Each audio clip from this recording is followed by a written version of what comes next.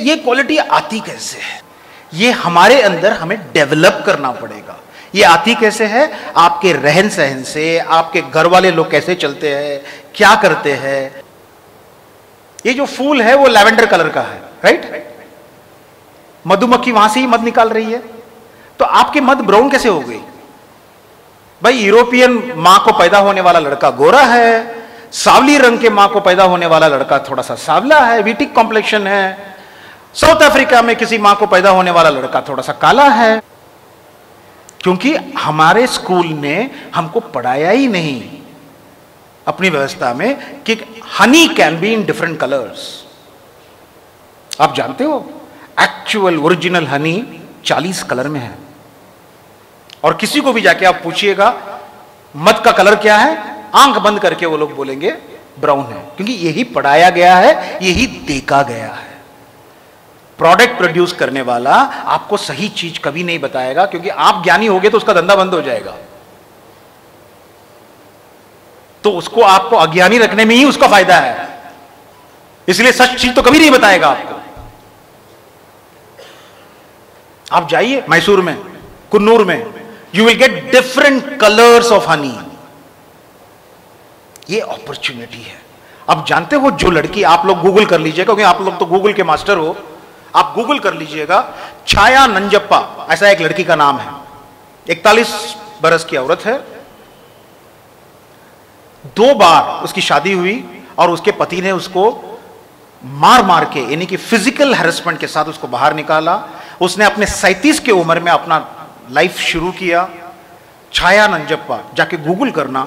आज तीन साल के अंदर उसकी हनी उसकी जो मद है इंडिया में कहीं नहीं मिलता। यानी इक्का दुक्का दुकान में मिलता होगा। सारे के सारे हनी जापान खरीद के लेके जाता है, क्योंकि वो ओरिजिनल हनी है। The most successful honey developer in the country ऐसा कोई अवार्ड नहीं है, उस औरत को नहीं मिला। लगी हुई थी क्वालिटी देना, उसी क्वालिटी पे काम करना कंटिन्यूस काम करना और फोकस्ड काम करना। उसकी गोल था।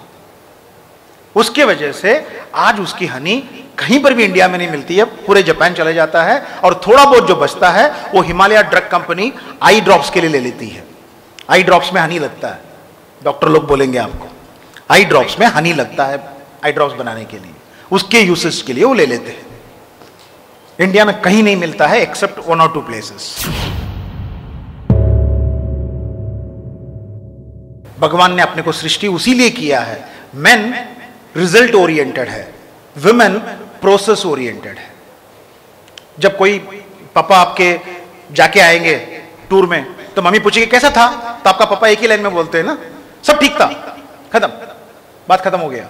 अब मम्मी अगर जाके आई और पापा ने पूछ लिया तो मम्मी शुरू करेगी, उस दिन मैं बस में बैठी थी ना, वहाँ से शुरू होगा, पूरा छह दिन का कहानी चलेगा। कि वो बस में क्या हुआ? उतरा तो क्या हुआ? बाजू वाले ने क्या बोला? कौन बस स्टैंड में आया था? वो दुकानदार ने इसको कैसा बेवकूफ़ बनाया? और इसको कैसे उसने पकड़ा?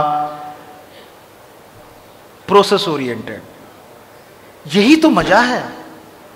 एक फैमिली का, एक ऑर्गेनाइजेशन का जो डिफरेंसेस है, वही तो मज़ा है, उस ऑर्गेनाइजेशन को चलाता है। दे आर नॉट ऑपोजिट्स मैं यही तो कहना चाहता हूँ कि they are not opposites they are complementary mummy अपने लाइफ की प्रोसेस को सिखाती है, पापा अपने लाइफ के रिजल्ट्स को सिखाते हैं।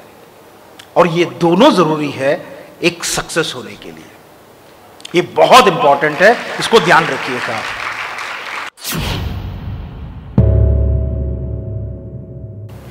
कोई सवाल? अभी पहला। फटाफट। हाँ बोलो बेटा। कि हम वही चीज़ देखते हैं पर ऑब्ज़र्व नहीं करते। और आप अच्छे से ऑब्ज़र्व करते सर उससे रिलेट कर दे कोई चीज़ों से सर। तो मैं भी वैसा, सर राइटिंग करने की कोशिश करता हूँ, सर, कि मैं भी ऑब्ज़र्व करता हूँ कुछ चीज़ों को। जैसे, सर एग्ज़ाम्पल देना चाहूँगा कि मैंने ऑब्ज़र्व किया कि रोड्स पर बहुत सारे जो जानवर मिलते हैं, कुत्ते या फिर चिड़िया वगैरह तो बहुत सारे लोग मतलब बाइक से उन्हें कुचलते हुए चले जाते पर ध्यान नहीं देते बहुत सारे लोग। तो सर, उस पर अगर आर्टिकल लिखने की कोशिश किया तो सर, किस तरीके से? पहले लिखो, कचरे में फेंको, लिखो, कचरे में फेंको, लिखो, कचरे में फेंको, लिखो, कचरे में फेंको।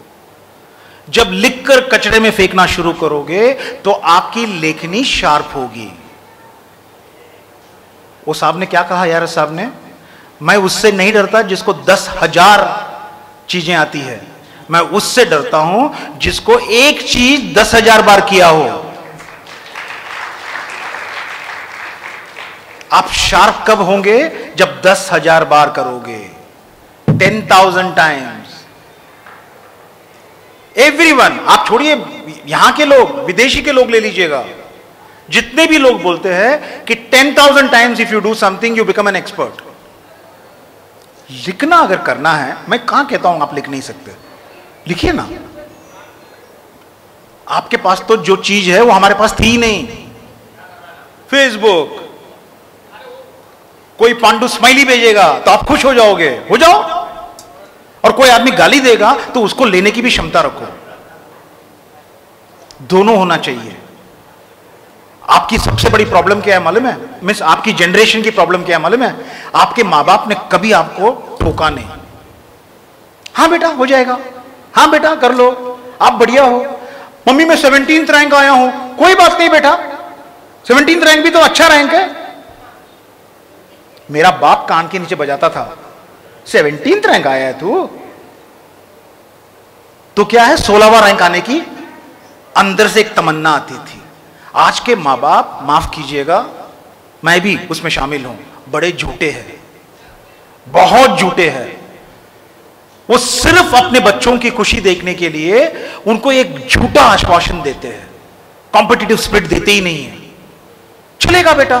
क्यों चलेगा? देर इज़ नथिंग कॉल चलेगा in this life nothing call चलेगा चलेगा के चक्कर में तो साला पूरा इंडिया डूब रहा है। क्या चलेगा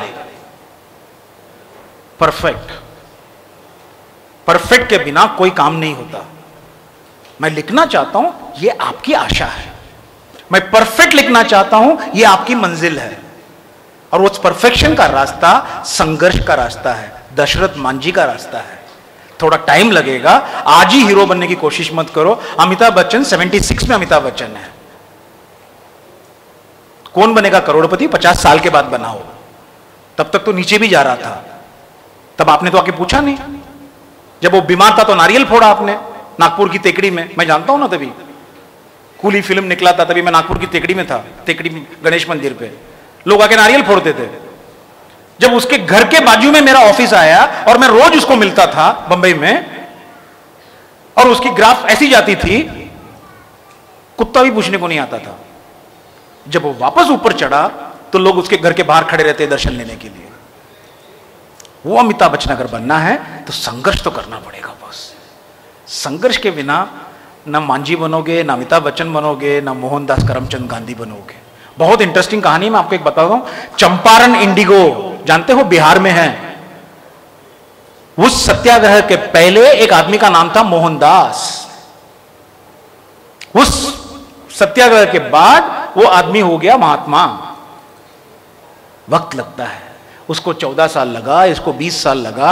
आपके तकदीर में कितना साल है, मैं नहीं जानता हूँ, लेकिन कुछ तो संघर्ष करो। यहाँ मैं पहुँचा हूँ, अठारह साल के बाद। छत्तीस साल की लेखनी के बाद, अठारह साल की एक कॉलम के बाद। संघर्ष तो करना पड़ेगा बेटा।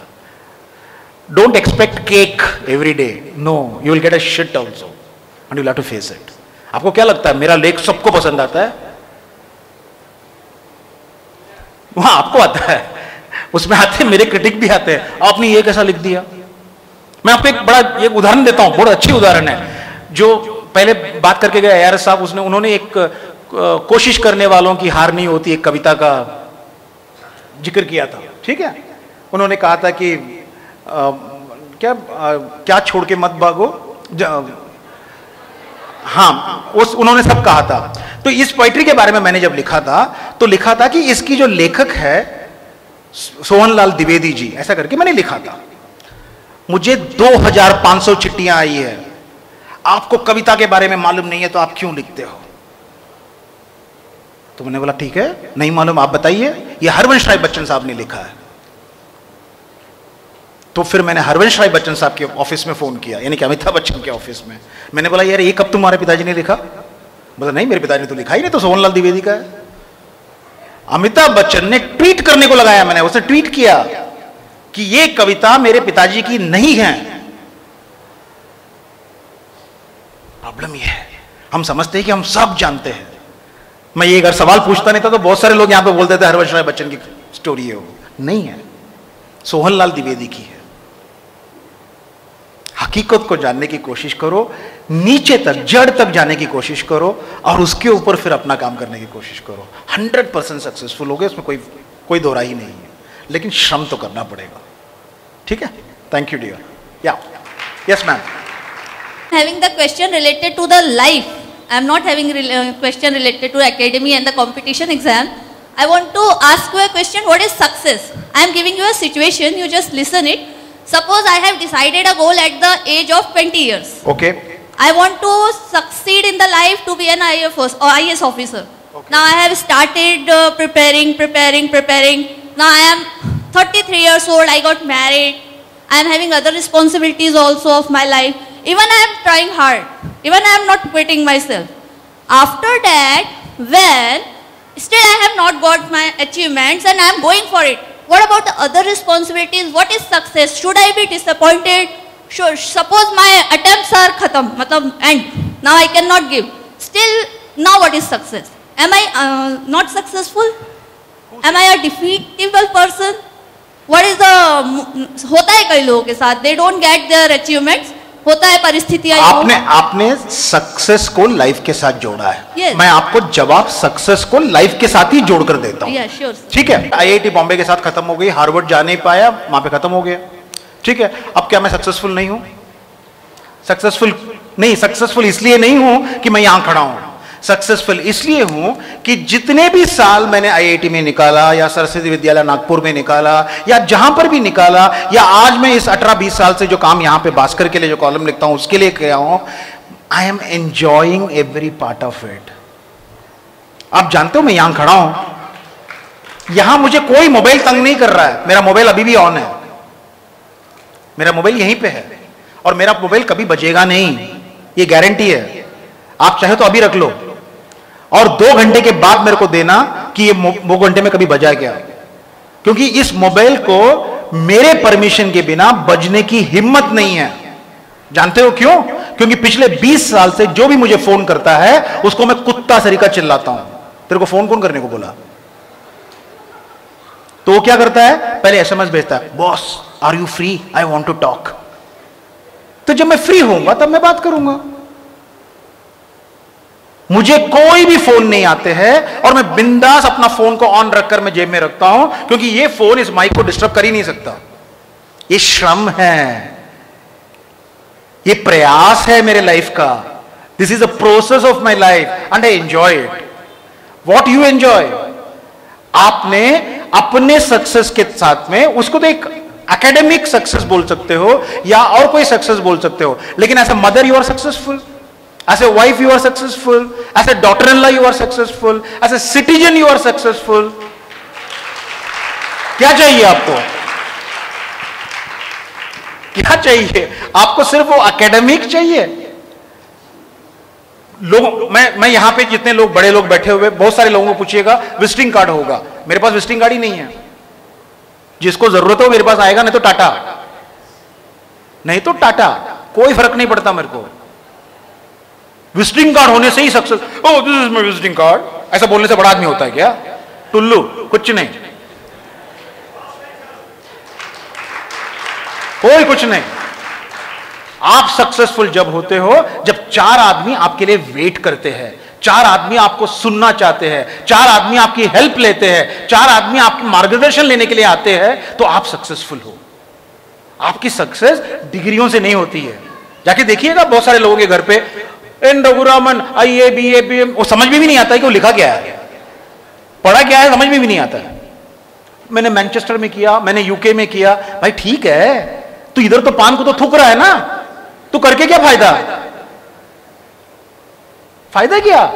If you can't be a good citizen to Balaghat इतने डिग्री को रखकर करेगा क्या, चाटेगा?